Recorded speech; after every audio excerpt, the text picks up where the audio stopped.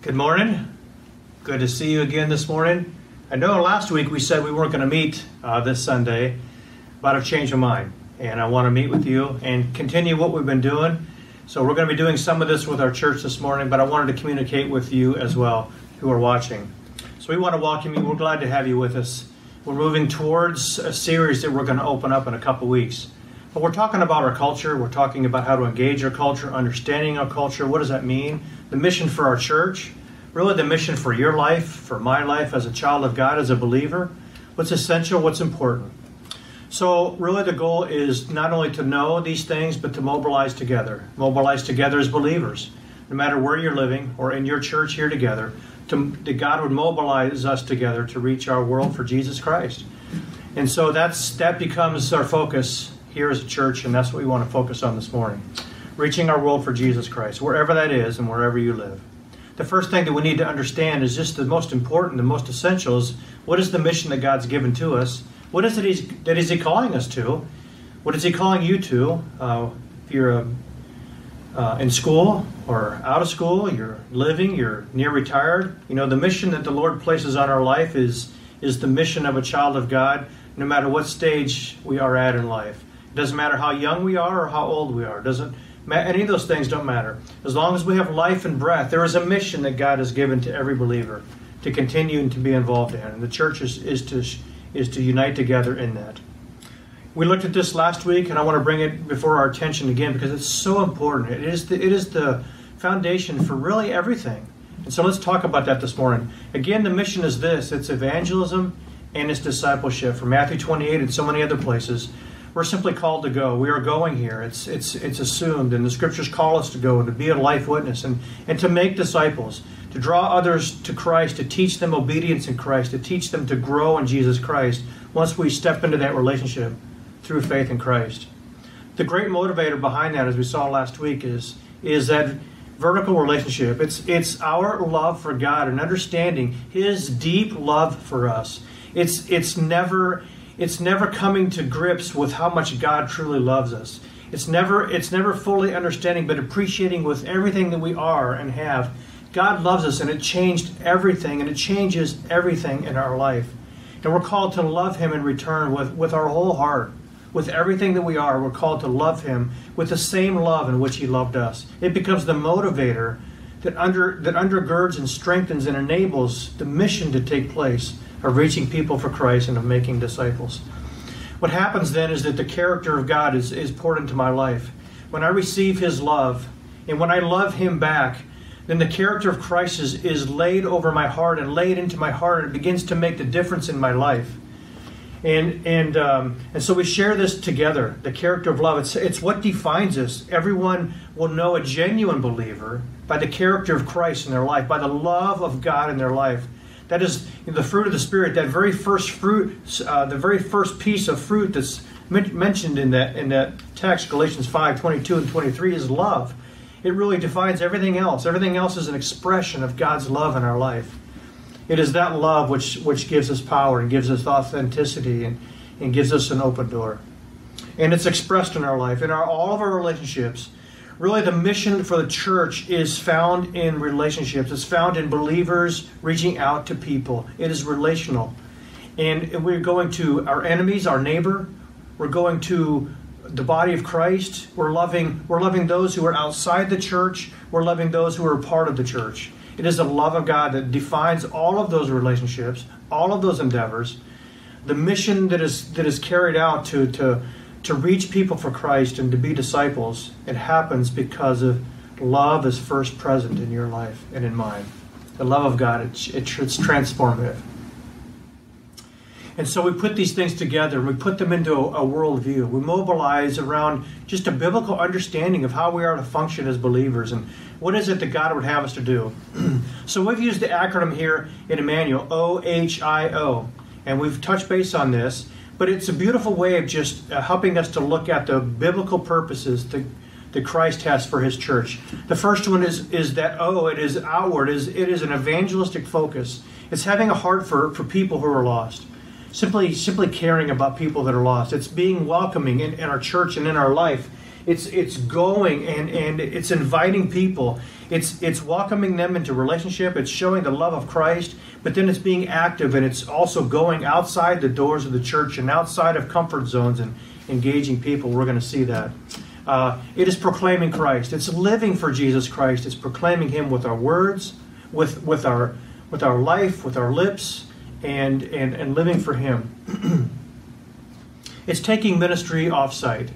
You know, evangelism isn't about the church. It's not about a location. It's not about a building. It's about the church being in the world.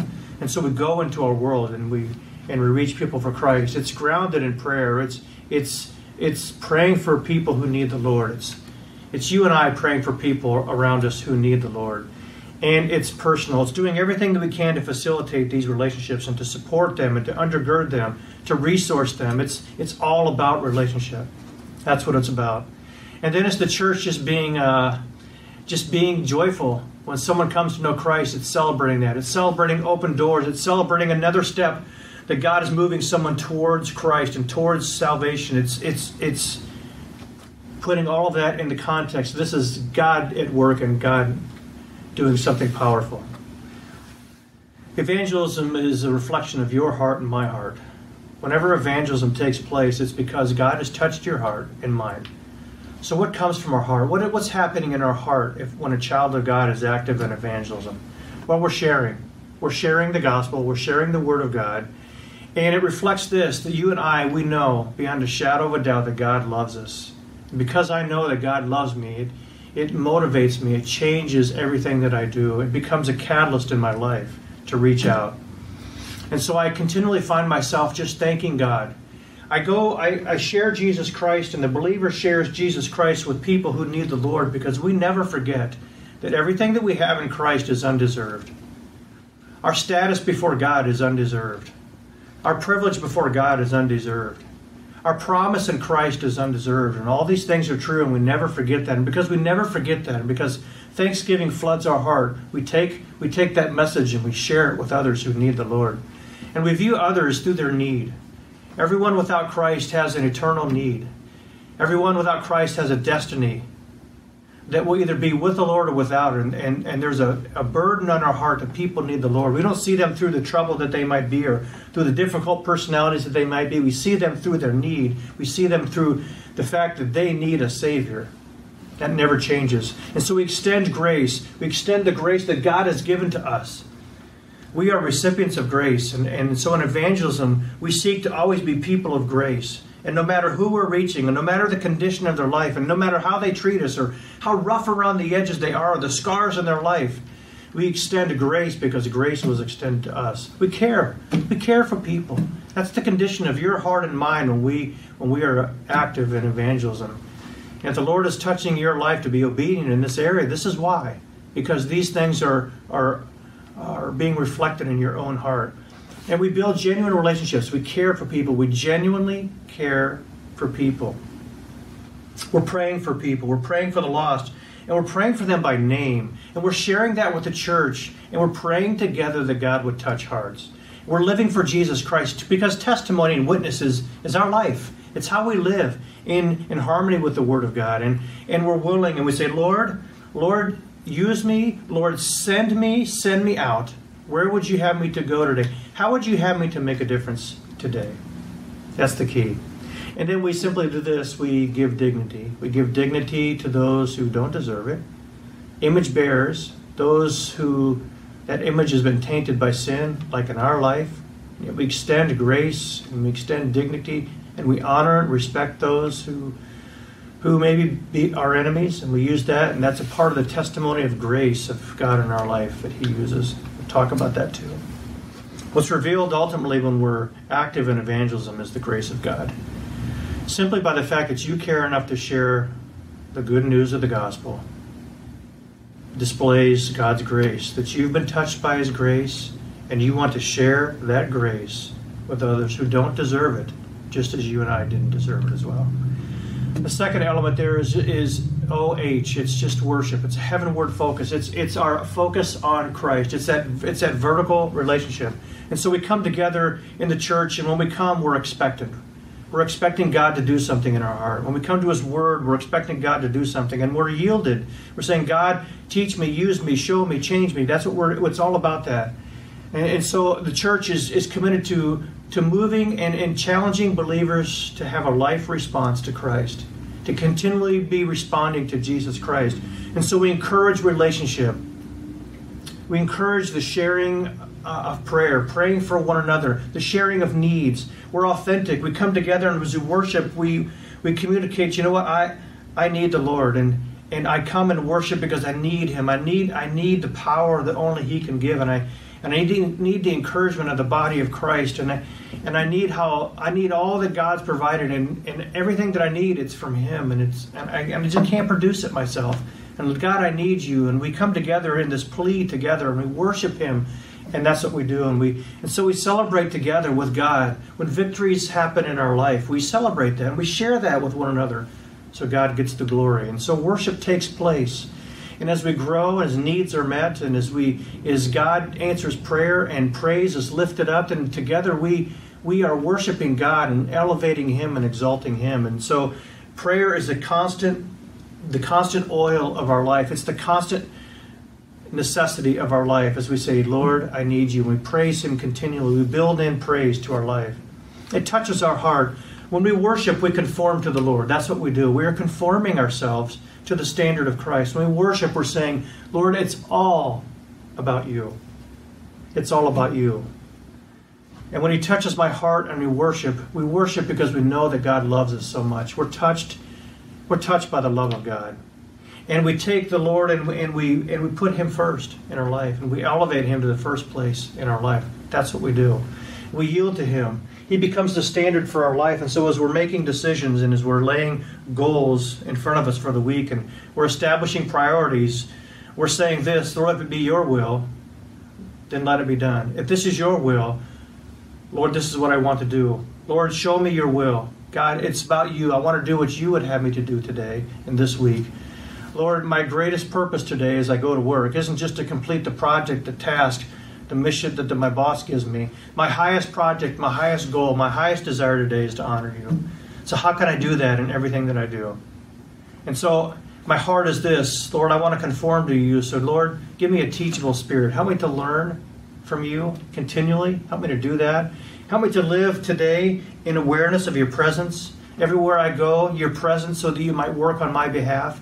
You're present so that you might use me for your glory. You're present that you might give me strength and wisdom for the moment. God, you're present. And so I conform to you and I yield to you. God, give me a clean conscience. That's part of conforming. God, give me give me the, the, re, the reminder that I need to, to confess sin on a regular basis and have a clear conscience before you. God, that I might that I might um, repent of sin and turn from that and continually be turning from things that would that would pull me away from you and draw me from you. And Lord, ultimately, just be honored in my life. Be glorified today in what I do. That's my prayer today. God, help me to help. Would you be honored? Would you be magnified in my life today in what I do?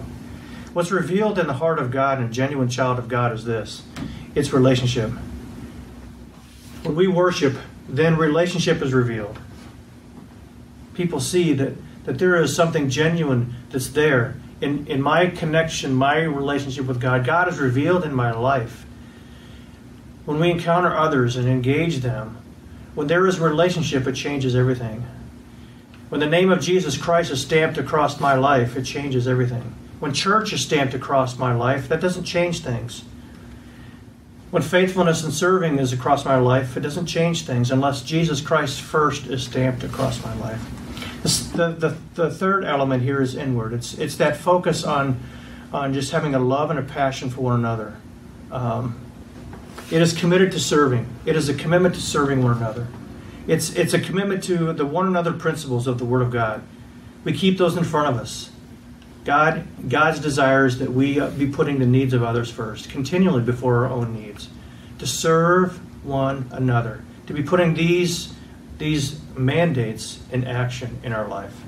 It's, it's maintaining relationships, it's strengthening relationships. People who aren't with us, it's staying engaged with their life and caring about them it's caring about one another. It's it's it's staying together in in relationship in small groups and staying connected and being real and authentic and and all of these things.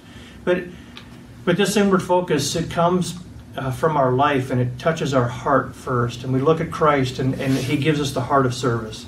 He gives us the heart of a servant. That's what He does in our life. And we are reminded from a heart that God has given us everything that we need to serve Him. He's given us everything that we need for life and practice, life and godliness. There's nothing that is missing in our ability to do the will of God in our life. He's given us everything we might serve Him well. And so we learn from Christ. Our heart, we come before the Lord and we say, Lord, teach me to serve as you served us, as you served me. As we saw in the Gospel of John, the, the servant's heart of our Lord and Savior Jesus Christ. As he went to the cross, he continued to serve his disciples. He served us. He serves us each and every day, and he desires that we learn from him. That we esteem each other with dignity. We serve each other when we respect one another, when we honor one another. Even when it's a difficult person, God puts within your heart and my heart that passion, that desire. When we just use those graces that God has given us, those talents, those abilities, they're not for us. They're not about ourselves. They're not about making a name for ourselves. God's given them to us that we might use them to serve others, to benefit the body of Christ.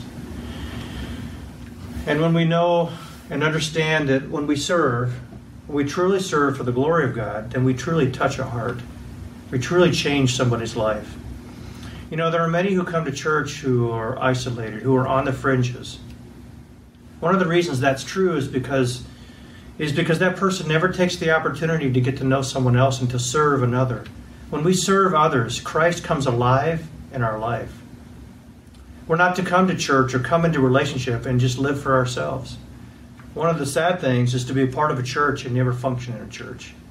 Never be active in a church. Never use what God's given you for the benefit of the body of Christ. That's this third element. And when we serve and our heart is conformed to Christ in this area, what's revealed is this a, a commitment Lord, use me. What's Lord, use me. And, and what we see is simply here a servant's heart. A servant's heart. The last one is, is the commitment to move forward. It's, it's a sustained commitment in our life. It's having a love for God's word in our life. And that love never, never, never fails. That love grows stronger as we walk with Jesus Christ.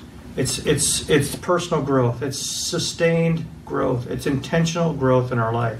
It's opening the Word of God that we might learn from Christ. We might learn God's heart. That Christ might be brought into our life. We'd be conformed to His image. That His life would be the character of our life.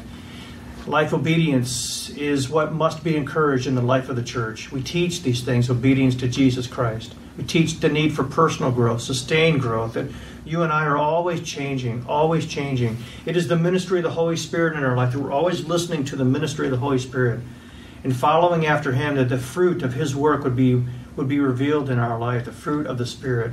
That there is repentance, that there is revival, that there is renewal taking place in our life. Not just big revival, not just big renewal, but but small steps of, of just renewal each week that sustain us and nourish us and feed us and continue to keep us moving forward for Christ. When He touches our heart, when this commitment happens in our life, it's because the Lord has touched our heart. These are all heart matters. All of these are heart matters. And it's a realization the character of Christ is then implemented in my life. I conform to his standard when I worship. But when I when I when I fulfill this commitment and I stay focused and I'm faithful to the very end, it's because what I conform to in my heart, it's now being imprinted on my life, and my life is being characterized by the by the character of Jesus Christ. And I'm reminded that God has supplied every need in my life, everything that I need. And so it becomes a reminder in my life that God heals. He heals every brokenness. And He renews. He renews and restores in my life. And He walks before me. He walks before me so that I might follow after Him. And I'm never alone. I'm never alone. He wants me to follow after His heart and say, God, what would you have me to do? And He delights in using us. Isn't that amazing? God delights in us. He praises his work in our life. He wants us to, to serve Him and to love Him and to be used for Him, and He delights in that. And it and it all, it's revealed in our heart here, and we just simply make this commitment, Lord, change me. This is the this is the greatest challenge of the of the heart of a believer. And when we find ourselves at this place, God is is truly working in our life. When we say every day, Lord, change me, Lord, use me, Lord, change me so that I might be conformed to you. That's the commitment. What's revealed in our life is is humility. So we're mobilizing. We're mobilizing to reach people for Christ, for disciples. And so we realize that, that what God's called us to, it's ministry, and it's ministry out of the box. Ephesians chapter 4, verse 7 reminds us grace was given to each one of us according to the measure of God's gift. Grace was given to every one of us, all of us. We recognize the grace of God. All of us have been given abilities. We've all been given what we need to be a witness for Jesus Christ, to encourage the body of Christ. We've been given all of these things. And so we're all very different. We're all very different people. God's given us different abilities. He's given us um, resources that we might use. And so when we, when we look at each other in the body of Christ, it's already out of the box because we look at each we look at people and we encounter people and we see people that are man, they're so different than me and they, they think so differently than me and they and they're good at these things and I'm not and, and they're not very good at these things and well I, am comfortable in that and we're just so dear, very different and and automatically we're just functioning out of the box, out of our comfort zone. That's what we're doing. And God has gifted us for that very purpose. And so we take God's gift, gift and His grace, and we put it into action. Ephesians 4:16. And so the whole body, everyone is everybody together, every joint with which it is, is equipped, when each part is working properly, it makes the body grow. So why? Here again, it's stamped in love. The body grows in love. That becomes the key. That is ministry out of the box. That is all of us functioning and participating in the body of Christ. It means I have to get out of my comfort zone and serve people who are not like me, who are different than me, and serve them for their benefit, for their growth, that the body of Christ would be built up, Jesus would be glorified, and that the love of Jesus Christ would permeate our ministry. And then, and then we prosper because of that. We thrive. The body of Jesus Christ is built up. Christ is becomes the, the focal point of a church. And there's a unity that the Lord brings to the church, the unity of mission and the unity of the call of Christ and the unity of, of the body of Christ embracing the need to serve and to grow, to worship, and to go and reach a people for Christ. So we're to be healthy, and we're to be functioning. So we have to understand if we're gonna if we're gonna serve the Lord and, and go out and reach people who need Christ, we're gonna be out of the box all the time. We're going to be god's going to be stretching us outside of our comfort zone all the time. So he's calling you out of your comfort zone. He's calling me out of our comfort zone. He's asking you to do what's not comfortable but what he's equipped you to do. He's asking you to do what seems impossible but what he's enabled you to do. He's asking you and i to trust him to take a step of faith a leap of faith and to serve and to go out and to engage the world. And so we have to understand that that ministry isn't about just just being in a comfort zone. It's not about just being on site. It's not about just coming to church and getting fed and being around people that we like and know. But it's it's it's it's stepping outside of that. It's not about just ministry and programs. It's much more than that in the life of a church. It's going off site it's getting it's getting out of the out of the location of the church and into our community and into our lives. It's ministry opportunities that are essentially important but don't reside but don't happen just at a church and at a building and at a location it's not about just taking those programs and ministries and redoing them or reorganizing them or whatever that. And sometimes those things need to take place, but it's about it's about people. It's about mobilizing people for ministry. The greatest asset of a church is people. The greatest asset of a church is people in the hands of God. It's people motivated by the love of God, enabled by the grace of God. Matthew chapter 9 reminds us that this is the prayer. God said to the disciples, The harvest is plentiful, the laborers are to pray earnestly that the Lord of the harvest would send out laborers into his field. We're to pray that God would send laborers. God is continually asking you, requiring you and I to step out of our out of the box, out of our comfort zone, and lovingly reach people who need the Lord. That's not just something that happens around the world that missionaries do. That is something that the Lord is calling every individual believer to participate in, to be a part of right now as you're listening, right now as I'm preaching, right now as we engage as a church, He's calling us not just as a church, not just as a body of believers, He's calling us as individual believers to be active in taking a witness for Christ to a world who needs a Savior. And so we mobilize. We understand that ministry ultimately is relationship. Ministry is people. Programs are important. Ministry events are important, but what's most important is the people behind them. What's most important is you your obedience to the Lord, your service for the Lord, your worship before the Lord, your growth before the Lord, and ultimately your witness for the Lord. It is all relational. Not too long ago, we, we looked at this book together, The Art of Neighboring. It reminded us of, of how we have an opportunity to reach our neighbors and how we can do that, and how we can engage in relationships, how we need to be praying by name for the people who live in the houses right next to us, who, who, who work in the cubicle right next to us, our neighbor right around us. Who are the people that you and I continually see that no one else in your church sees? Who is it that God has put in your path? Who is your neighbor that God wants you to reach? That is a challenge that that book laid before us. Couple years ago, we looked at this book, the book Tactics. It is a challenge to us to, to look and to engage people in a relationship and to bring questions into their life and, and to strive to understand who they are and how God has made them and, and what's important in their life so, so that we can then bring the testimony of the Word of God into conversation and reach them for Jesus Christ. But it begins by genuinely caring for who they are and loving them getting to know them, and then looking for that opportunity to bring the grace of the gospel into conversation and into their life. There's another book that I'm mentioning now and be presenting to the church. It's this it's Evangelism as Exiles. It's written by Elliot Clark. It's, li- it's life on mission as strangers in our own land. It's what we're talking about. So we started last week. It's what's relevant today and what we're going to be talking about next week and in the weeks to come. We're living in a culture that's changing all the time. And how do we how do we engage a culture that more and more hates Christianity and hates Christians, that doesn't value the gospel message, that doesn't value Christ and Christianity and biblical values? How do we engage that culture? How do we engage those people in our life, those friends in our life, those enemies in our life? How do we do that relationally? This book is all about that. These three resources right here are great resources that I would consider you to have in your in your library in your life and be reading them. If you're a member of this church, we have them in a library and we encourage you to do that. So this is about relationship. We're going to close with this emphasis. Ultimately, as we mobilize, it's around relationship. Relationship in action. And so we come to Colossians chapter 3 and just reminds us of how important this is. Colossians chapter 4, verses 3 through 6. The first thing that we understand is this when we think about taking the gospel to people who need the Lord, and we think about the context of relationship, the first thing that we understand is this that we need to pray. We need to bathe this in prayer. It is it is supernatural what we're asking God to do.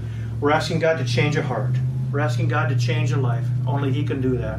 We're asking the Spirit to come to come alongside and to change a life, for He's the only one who does that. He uses us. We are we are. Uh, he gives us the opportunity to share the blessing of seeing come on to, someone come to know Christ. He uses us and gives us the opportunity and the blessing to be a witness. That He's the one who changes the heart. And so we pray that God would work. At the same time, pray also for us, Paul prays, that God may what? Well, that God would work. And so we begin here and we say, we pray, and we pray together. We pray by name for people. We pray for opportunities. And we say, God, it is your work. You, God, would you work on, we pray for your glory. We pray on your behalf. God, would you work and move a heart? God, would you show grace to this person who doesn't deserve it and use me to see them come to know Jesus Christ? This, this ministry of relationship, it's intentional.